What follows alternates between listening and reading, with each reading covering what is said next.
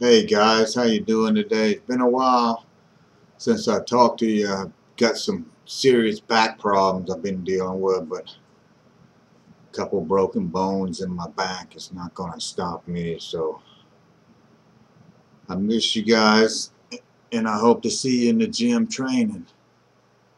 Getting back to producing some videos. Thanks again.